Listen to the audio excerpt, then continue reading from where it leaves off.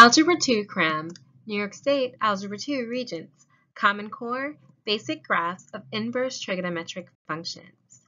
The domain of the inverse cosine of x, sometimes called the arc cosine of x. Concept number 15. Now, the odds of someone doing exactly what you tell them to do is pretty slim, but I guarantee that if you cram with me, you'll become an Algebra 2 master. Inbox me at memedicine at gmail.com to order this complete cram session. If this isn't the topic you're looking for, no worries. Still inbox me at memedicine at gmail.com to order personalized packages. Be sure to spread the word to your friends and classmates who also need to cram. Let's cram the concept of the domain of the inverse cosine of x. Basic graphs of inverse trigonometric functions domain of the inverse cosine of x. Okay, so the key to progressing through this really well is to put things in order. So I'm going to give you a pre-example before we get into the actual concept. This may take a little while, but not too long, okay? So where our angle of interest here is theta, we're going to call this angle theta rather than x, as shown here, because we don't want to double up on variables. I'm going to use x as the x coordinate all right.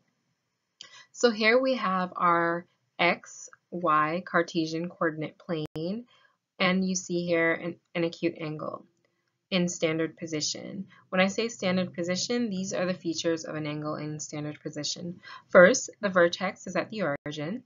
The initial side ray, whose extent is the x-coordinate, is on the positive x-axis, and the terminal side ray, whose extent is the y-coordinate here. It ends in quadrant 1 between the bounds of the quadrantal angles 0 degrees and 90 degrees, okay? And just note, because you're in quadrant 1, the x-coordinate can be positive as well as if you were in quadrant 4. And because you're in quadrant 1, the y-coordinate is going to be positive.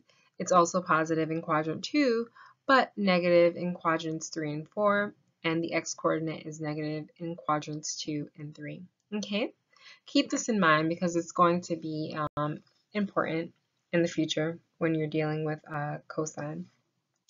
Now this acute reference angle, well, I just gave what I was saying away. This acute angle, theta, is also referred to as a reference angle, sometimes called theta ref, sub REF,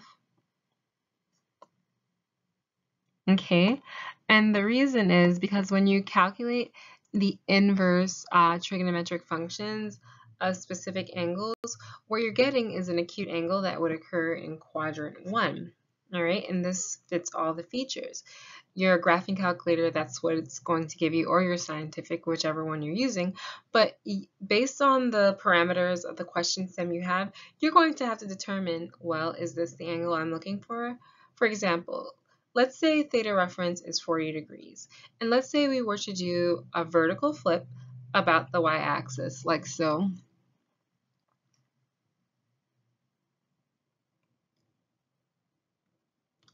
Well, what you're most likely or you could be interested is not actually in theta, but you're probably going to be interested in this obtuse angle here. So the way you calculate um, what you're actually looking for, the angle you're actually looking for when it falls within quadrant 2, but you're getting an answer of the theta reference in quadrant 1, is you're going to subtract theta from the extent of quadrant 2, and the quadrantal angle that cuts off quadrant 2 is 180 degrees. So 180 degrees minus our example theta of 40 degrees is going to yield a value of 140 degrees, okay? Let's continue in this vein of thought. Let's say that you did a diagonal flip about the origin and you ended up with your theta over here. And you, you calculate the, um, the inverse trigonometric function. It could be cosine. Okay, but let's say that you're not necessarily interested in the answer theta that you're getting. Rather, you're interested in this obtuse angle. What you would have to do in this situation is add um, theta reference to the extent of quadrant 2 rather than subtracting it. So you're going to get 180 plus 40 degrees because 40 degrees is the example theta that I'm using here. And that's going to be um, 220 degrees. Okay, so last but not least, let's say you have a horizontal flip about the x-axis and you end up with theta over here, but you know that although you're getting an answer of a 40 degrees for x or theta, whatever variable you're using, that's not what you're interested in. What you're interested in is the angle that's occurring in quadrant 4. So um, let me show you what you would be really interested in. Well, this big guy here. So in order to calculate that huge obtuse angle, what you would have to do is subtract theta um, from the extent of quadrant 4, the extent of quadrant 4, which also, you know, um, parallels 0 degrees is 360 degrees.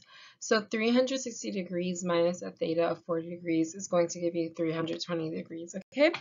So that was a long aside, but now what I want to show you, I want you to realize that the inverse cosine function comes from the actual cosine function, okay? And the cosine of theta or x, whichever variable convention you're using, is just going to be the x-coordinate, which can be positive or negative, divided by the terminal side array, also called the hypotenuse, or the longest side of the triangle.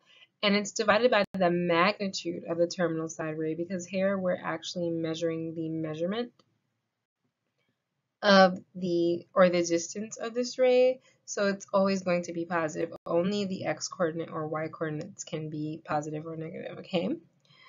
And the reason being is because this right triangular formation is just the resolution of that whole um, terminal side ray into into its x and y coordinate, okay? That might have confused you a little bit, but don't worry about it.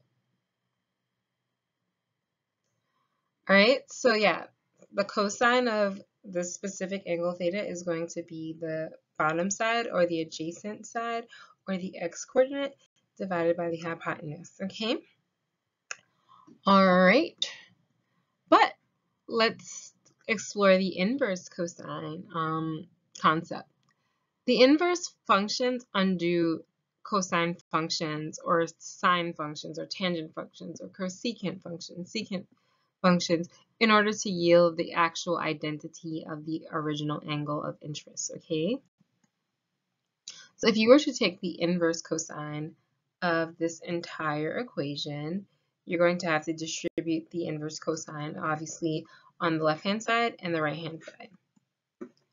And when you do that, you get the inverse cosine of x over r is equivalent to the inverse cosine of the cosine of theta or x, you know, whichever variable you're using. Here we're, we're using theta, but I just included x, so you can know that, yeah, you can use that as well.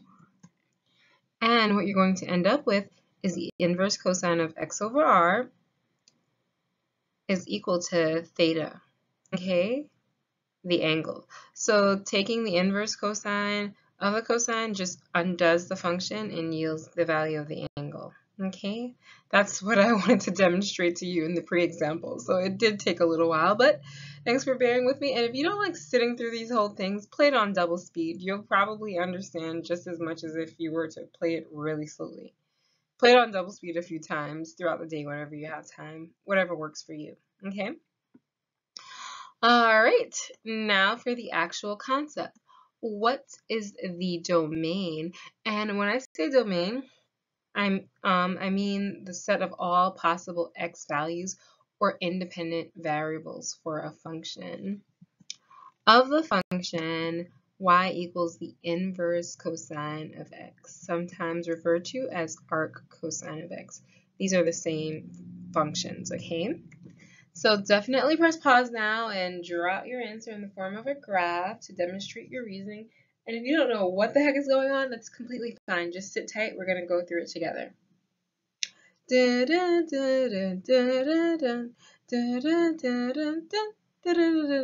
Okay, so hopefully by now you um, press pause and we're able to come up with an answer. If not, let's try this out together. All right. So, um, what I want you to know uh, is that, I think I mentioned this already, is that y equals the inverse cosine of x is the inverse function of the original function y equals the uh, cosine of x. Okay. But um, since uh, the y equals the cosine of x is not a one-to-one -one function, what I mean is that it pass it's a function because it passes the um, horizontal line test. I mean, the vertical line test, it doesn't, you know, pass through it twice. So any function graphed on a Cartesian coordinate or coordinate system that passes the vertical line test is an origin, is an, a legit function, okay? But that doesn't necessarily mean that it's a one-to-one function. One-to-one -one functions have to pass the horizontal line test. Let me show you what I'm talking about. It does not pass it because you can cross, you know, like Several elements in the domain can have um, the same dependent variable or y value. So that's not a one-to-one -one function, okay? And for us, that's not good in crafting the domain of our inverse function. So what has to happen is the domain of the original trigonometric function, the cosine of x has to be restricted like so so that the ultimately the inverse cosine function can be a legit function. That might be a little confusing, but I'm going to show you exactly what I'm talking about. Now you can restrict uh, the cosine of x domain any way you want, but typically in algebra for this type of concept, uh, the cosine is restricted uh, between 0 and pi, okay? So this is approximately um, increments of pi over 3. All right, that's what's typically done. And this also leaves the range restricted between negative 1 and 1. But whether it was restricted or not, the range of the cosine function is always negative 1, 1. So that remains unchanged, okay? Now to create the graph of y equals the inverse cosine of x, you're going to have to reflect the cosine of x, the restricted function, across the line y equals x. And in doing so, basically, you're going to interchange the x, all the x and y values. So in essence, you're interchanging the domain of y equals cosine of x to make it the range of y equals the inverse cosine of x, and you're interchanging the, uh, the range of y equals the cosine of x to make it the domain of y equals the inverse cosine of x. Hearing this initially is a little confusing, but it's going to be very clear once it's demonstrated on the graph. Okay, so after reflection over the line y equals x, we get the graph of um, y equals the inverse cosine of x. So basically, we took this bad boy and we flipped it like so, okay? You have to be able to picture this revolution in your mind. Some of you can't right now, some of you can. It's just a matter of daydreaming or exercising your imagination muscles, which is just very important in life in general. So if you don't, and actually, a lot of people daydream by default. We dream about the future specifically things that we don't want, like failing a math test. What you want to do is stop that, like, because you're ruining your life. What you want to do is to imagine always what you want, whether or not it seems impossible. And if you don't know what to imagine, imagine this rotating about the y, the line y equals x. Okay. Again, notice that um, for y equals the cosine of x, the domain is negative 1, 1 to 1, okay? And the range is from 0 to pi. If we consider these every third, um, every increment pi over 3, okay? All right, this might be a little too hectic for you, so let's just you know, neaten things up. So here we have, again, the domain, that's the answer that we're looking for, is between negative 1, 1, including the endpoints, negative 1 and 1, that's why they're shaded. So the domain of the inverse cosine of x, or the arc cosine of x, is going to be negative 1 is less than or equivalent to x is less than or equivalent to 1. All right, thanks for tuning in.